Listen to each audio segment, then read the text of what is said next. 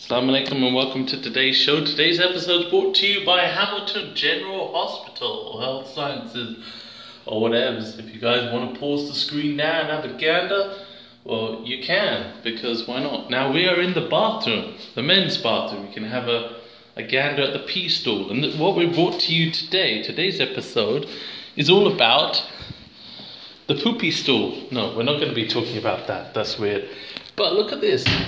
Like almost an inch gap. Seriously. I was sitting here taking a dump and thinking, shit, anyone who comes in this can see me. I mean, what if they open the door wide open and there's like a family out there? They can see me and I'm sitting here all com- comfortable, like. Just to give an example, if you close the door, you clearly see anybody who's in there.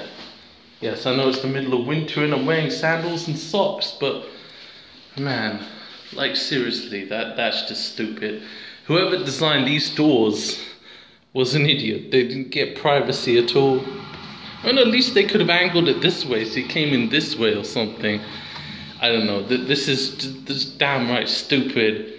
And especially a guy taking a dump and someone just walks through the door and they got like family out there and you're like, I'm sorry, I can't help it. Anyway, so this is today's wacky episode. I apologize for the, uh, yeah, the, the randomness of it, but that's why we call it completely random reviews, so it's not like a complete surprise.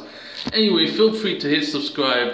If you guys are going to Hamilton General Hospital, shoot me a link down below. Or if you live locally, then shoot me a link. This is not local to me, it takes like ages to get here, but what else? Anyway, thanks for watching. Have a great day. Bye.